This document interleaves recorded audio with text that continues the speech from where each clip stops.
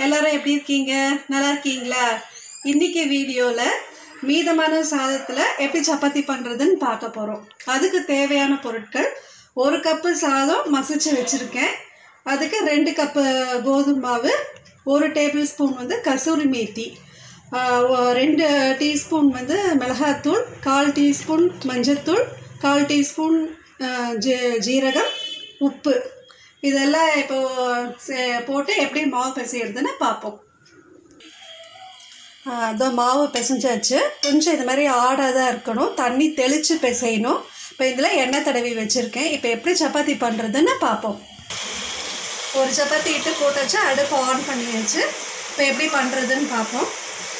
சப்பாத்தி வந்து இடுறதுக்கு வந்து நீங்கள் அப்படியே லைட்டாக இப்படி வச்சு இப்படி பண்ணிங்கனாலே ஆட்டோமேட்டிக்காக அது ரொட்டேட் ஆகும். ரொம்ப ஈஸி தான் இடுறது வந்து. இந்த பாருங்கள் எப்படி ரொட்டேட் பண்ணிடும் இப்படி இப்படி தான் இடணும் அப்புறம் கொஞ்சம் அப்படி மாவில் தொட்டு எடுத்துக்க வேண்டியதான்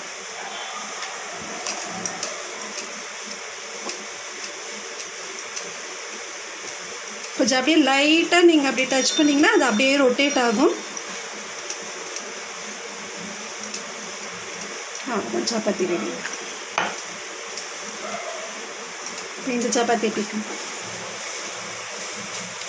இப்போ கொஞ்சம் போட்டு எடுத்ததுக்கப்புறமா தேவையான அளவு எண்ணெய் ஊற்றிக்கணும் இது அடுப்பு ஹை ஃப்ளேம் வச்சுக்கணும்